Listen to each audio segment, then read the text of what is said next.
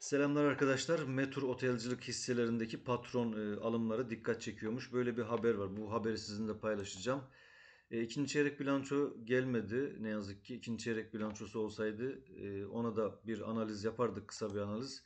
Grafiğine de e, bakacağız. Burada alım e, programının e, detayları da mevcut. E, Eylül ayında da devam ediyor bu e, alımlar.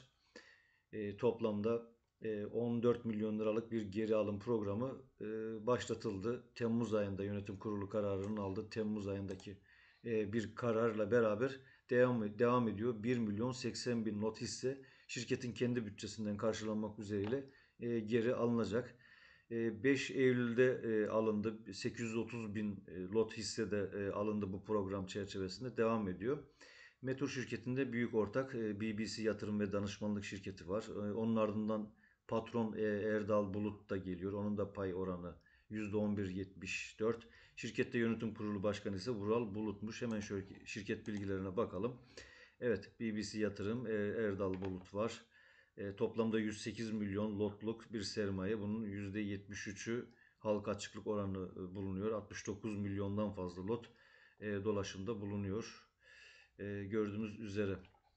Ve şu anda 16.44'ten işlem görüyor. Evet bu iki isim e, hemen hemen her gün kapa bildirim atıyorlar ve alış bildirimleri e, geliyor. E, en sonunda Erdol Bulut 5 Eylül'de e, aldı. E, yani bununla beraber diyor elinde metur hisse miktarında 12 milyon 900 bin not, lot olduğu açıklandı. Böyle devam ediyor haberimize bakalım. Evet, Metur borsada da son haftalarda hareketlendi. Ağustos ayı başlarından beri patron alışlarının da etkisiyle olsa gerek ufak ufak e, hareketlenen hisse 11 lira 80 kuruş fiyatlardan 17.30 liraya kadar e, primlendi. E, 6 aylık bilançosu henüz borsaya gelmedi, açıklanmadı ama e, 2024 yılı 3 aylık bilançosunda şirket zarardan e, kâra geçen bir bilanço yollamıştı. Evet 16 milyon e, 300 bin e, zararı vardı geçen yılın aynı dönemine göre.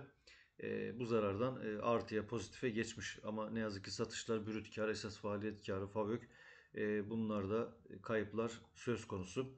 E, pozitif taraf e, öz kaynakların e, sadece artmış olması %25 artmış. 218 milyon liradan 273 milyon liraya çıkarılan e, bir öz sermaye bulunuyor. Sermaye arttırımlarına da bakalım şu şekilde.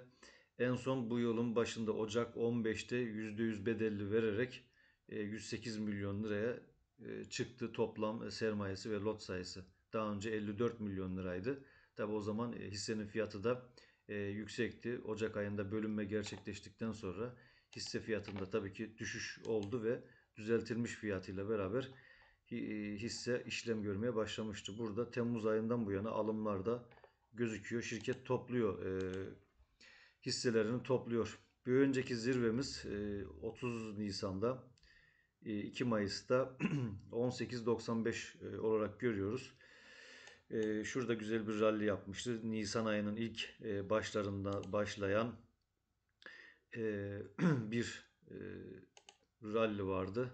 E, 26 Mart'tan 2 Mayıs'a geldiğimiz süre zarfında bu 37 günlük zarfta %128 bir e, getiri yaparak yatırımcısına e, güzel bir kazandırım e, kazanım elde ettiğini görüyoruz ve ondan sonra da ne yazık ki bir, daha da e, 18 liraya seviyesini görememiş. Yatayda e, testere piyasasında ilerlemeye devam ediyor şu anda.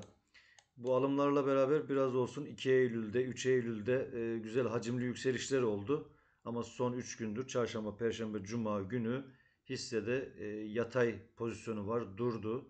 Şu anda beklemede 17.42'yi kırarsa e, önümüzdeki hafta pazartesinden itibaren 17.42'yi e, test edecek. Kırabilirse tekrar e, 18-19 seviyelerine çıkma ihtimali Metur'da e, olabilir. E, destek olarak da şu anda şöyle 15 lira e, civarını e, destek olarak söyleyebiliriz.